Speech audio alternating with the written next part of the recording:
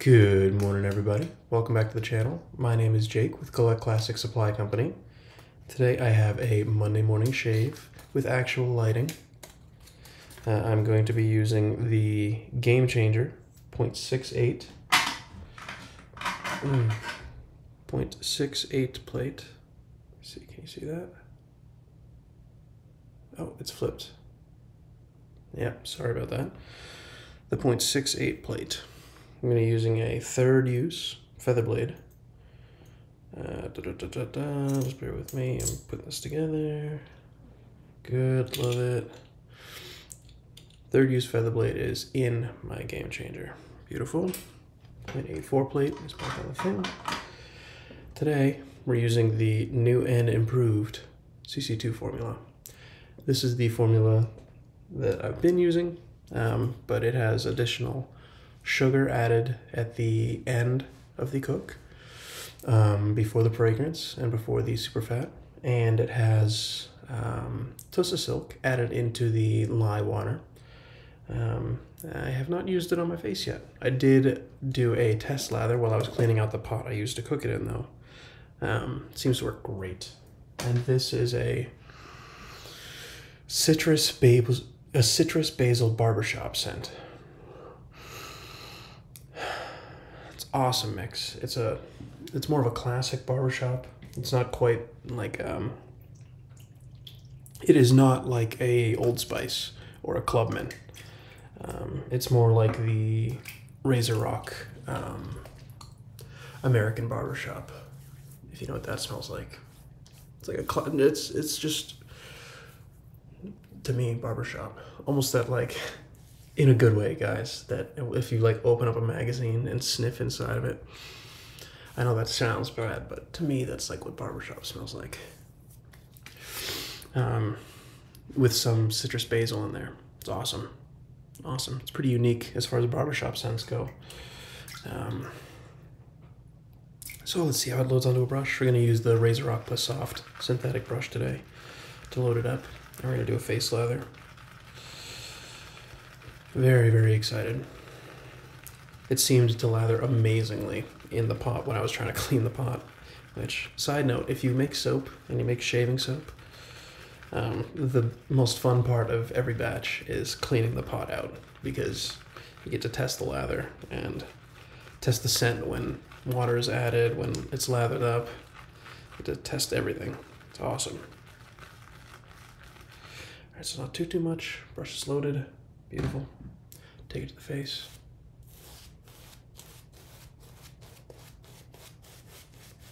Yeah, my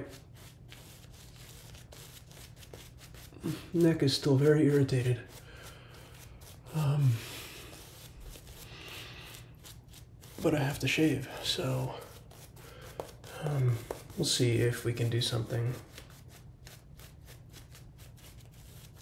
about that today with using my what I think is going to be my best soap and by using one of my most mild razors. Dip the tips, spray the brush.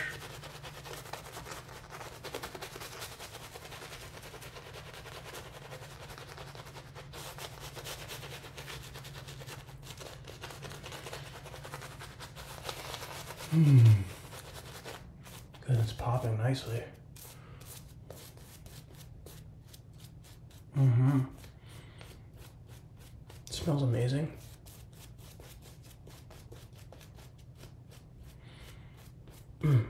Nice.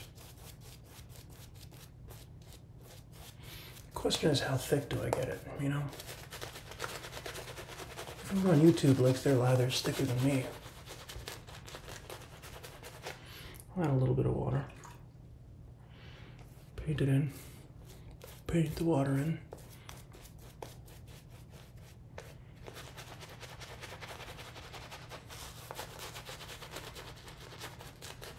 So that is three additions of water. Dip the tips three times.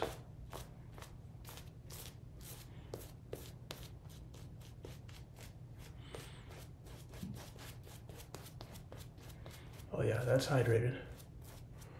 The question is, am I talented enough to get a super fluffy lather for you guys?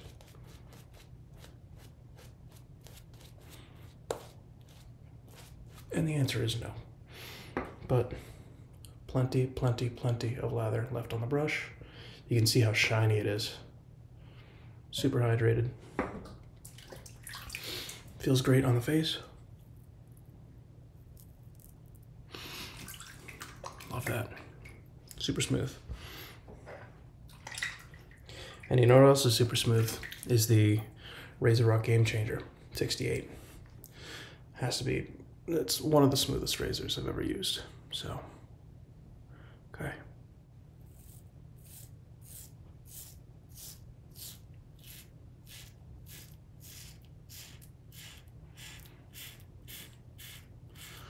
Oh yeah.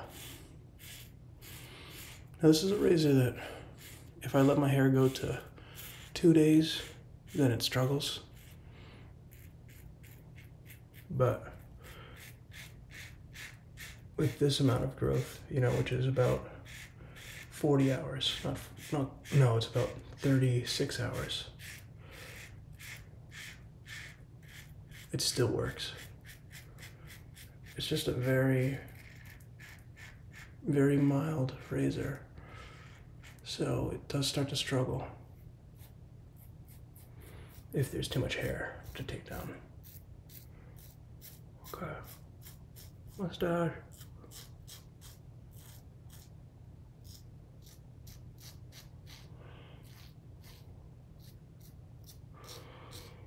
Wow, this soap is so, I mean, the razor's smooth too, but I've used this razor so much. I've used this razor with this blade combination a ton in the past. I know it's smooth, but this, this soap, I mean, you would have to typically rehydrate that to do anything with that. That's amazing. Super slick. Super slick.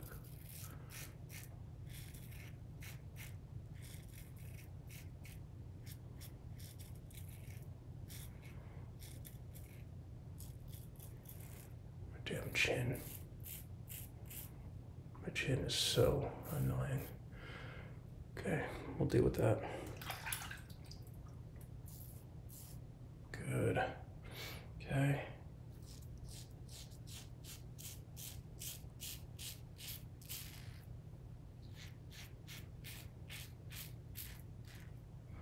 Love it.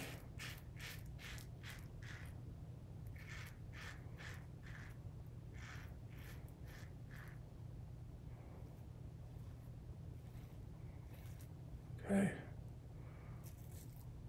We'll leave it at that. Hopefully that is as easy as we can go. I mean, that was as easy as we can go, but gotta look here.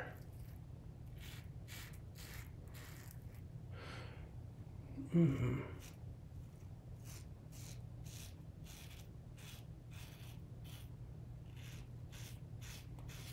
Beautiful. Beautiful. Beautiful. Wow. That soap is so smooth. That razor is so smooth. That's a perfect combo right there, man. Perfect combo.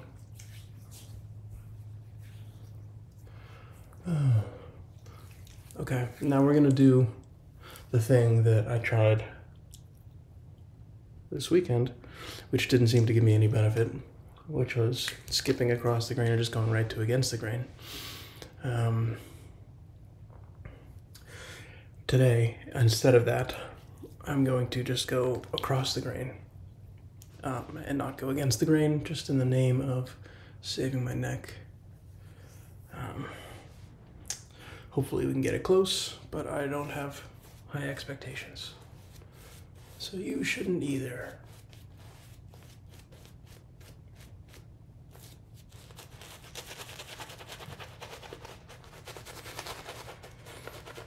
Hmm, that's such a good scent.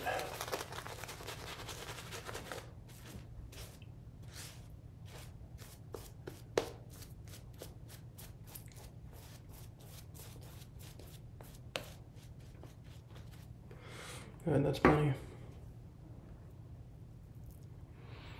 Plenty. Once again, if you've been here before, you know I don't care how thick the lather is. I'll, say though, the added sugar seems to have made a fairly large difference with lathering up. So are we're gonna go across the grain on the face.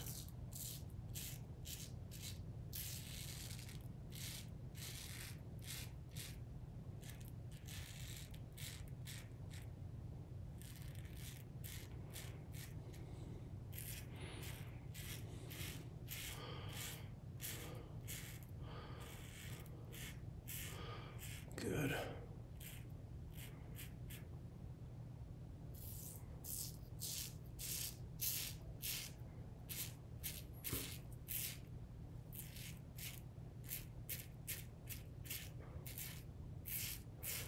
Man, this is a great setup right now. This soap, this razor, this blade, it's all coming together. You ever just you just have one of those days where everything everything's firing on all cylinders? Well, I imagine most people actually just have a few tubs of soap at most, and one or two razors, and one pack of blades. So they, I mean, they don't do what what I do. They just use what works for them. They don't switch it up constantly.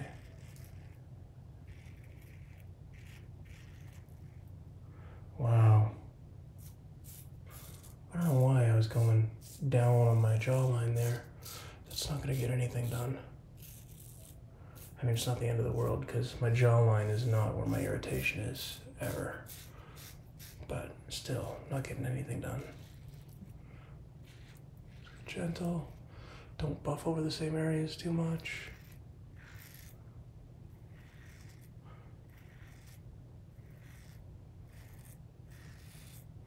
This part is fine. I can buff it as much as I want. Good. Okay, how are we feeling? How are we feeling?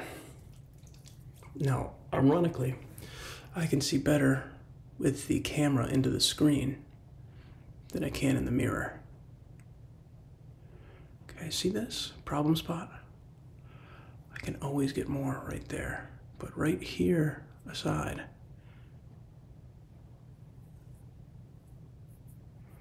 same thing here. The chin needs work. The neck I'm just gonna leave alone regardless. So here's what we're gonna do. Gonna leave the neck alone regardless do a third pass on the face and jaw.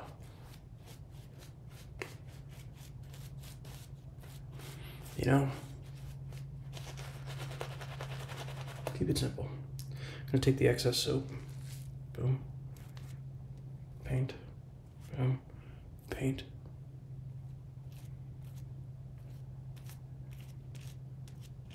See, I just suck.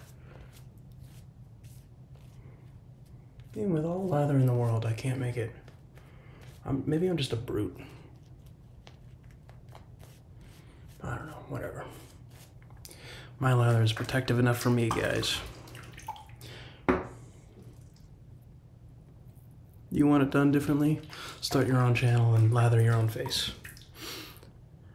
I'm sure you do it differently on your own face every day. That's how I do it. Whatever. Works fine for me. All right jawline. This is against the grain.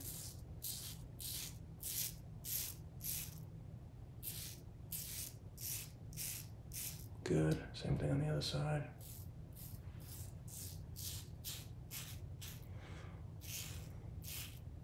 Good. Love it.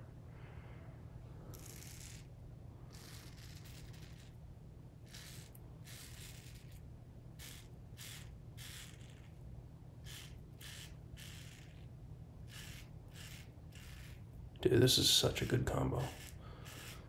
This this game changer 0.68 is amazing. It's it's kind of shocking because every time I use the 0.84 after using the 0.68, I think to myself, wow, why would I ever use the 0.68? Because the 0.84 is so smooth and so much more efficient. And then every time I come back to the 0.68, I'm like, oh wow, why would I bother using the 0.84? Because the 0.68 is so smooth, but still efficient enough. And I'm just left wondering, like, does RazoRock make a bad plate for this razor? It's like every plate has its purpose, you know?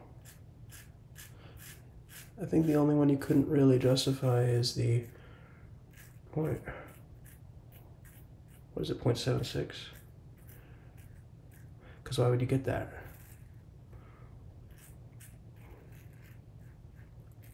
Even if you needed more, um, more razor than the 0.68 safety bar, you would just go 0.68 open comb. Or just use the 0.84, because the 0.84 is not scary to use by any means. The 0.84 is what I would, is just normal. This razor is just super, I'm gonna take some of this.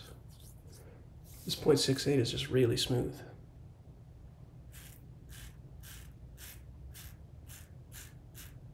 Problem area real quick.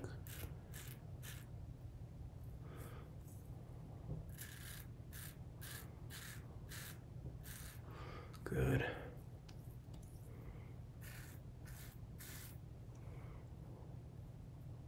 Okay, I'm just gonna call it a day. Don't really know what format this video is, pardon the sink noise.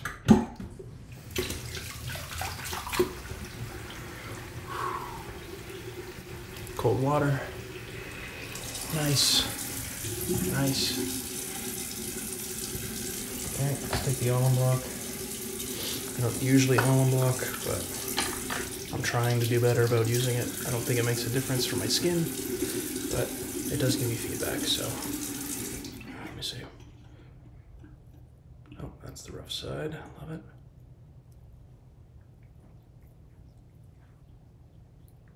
Smooth.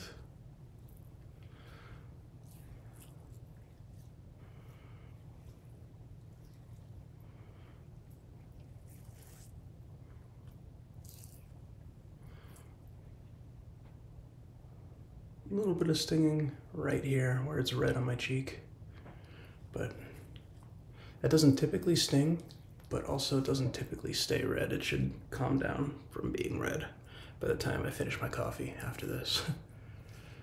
my neck, though irritated, I don't think I irritated it additionally. The alum block is not getting any sort of feedback whatsoever on it.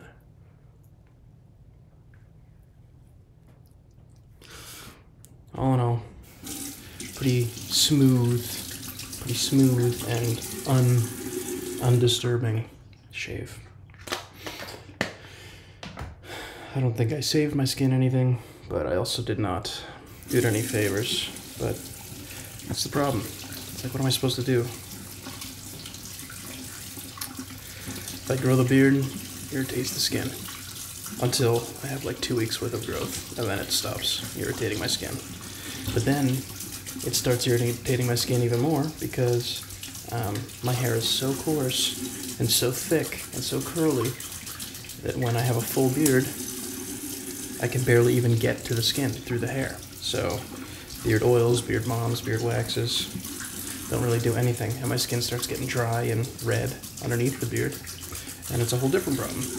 Then you shave it off and you got a bunch of red underneath and then you wait for that to heal, and then you get stubble again, and that makes you red again. And you shave it off, and that makes you red again. It's like the only way for me to not get irritation is to get a perfect shave, is to shave the beard off with a perfect shave. And that's difficult to do. I, sometimes I nail it, most of the time I do not.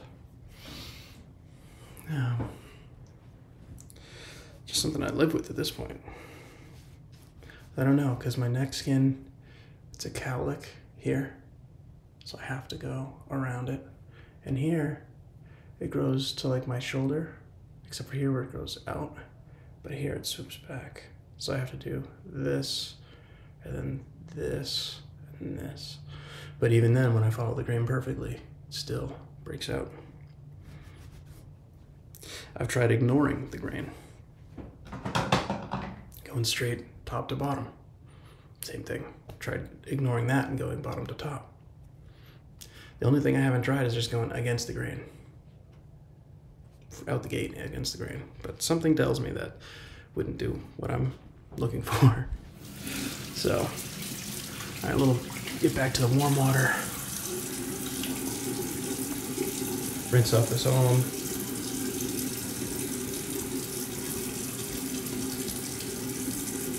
I don't typically go crazy with scrubbing to rinse off the alum, primarily because um, cleaning the razor now.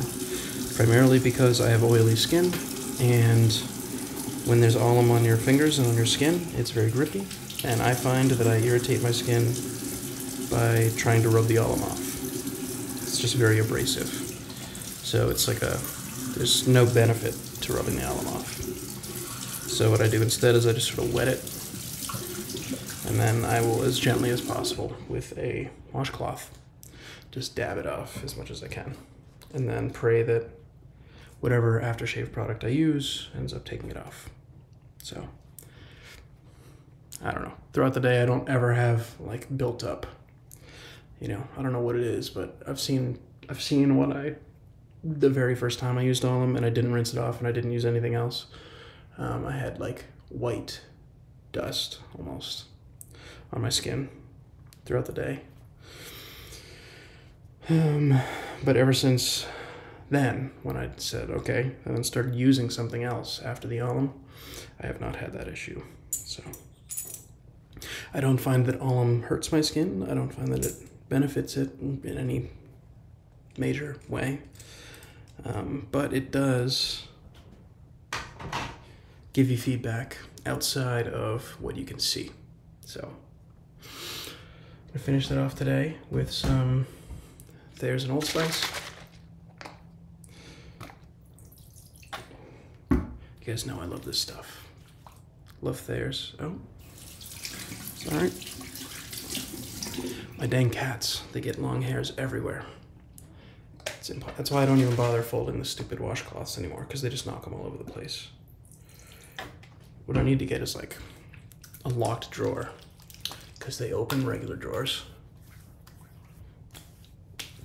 There's an Old Spice mixed in a bottle. I forget if it's 60% Thayer's or 60% Old Spice, but it's 60% one of them. Mm. Feels good. You still get the kick from the alcohol. You still get the Old Spice scent, but you get Thayer's. And you don't have to put three separate things on, you know? It's great.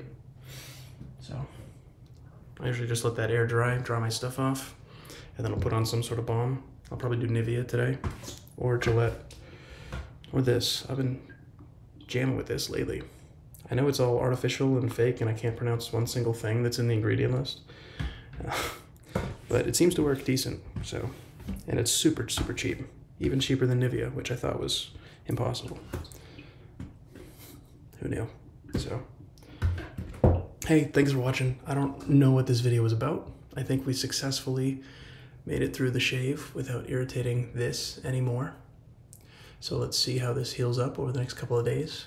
Maybe I'll skip Wednesday this week and shave on Thursday instead. Maybe we'll get crazy and shave on Friday instead. But I really think that if I wait until Friday to shave again, um, I'm going to be even more irritated than this.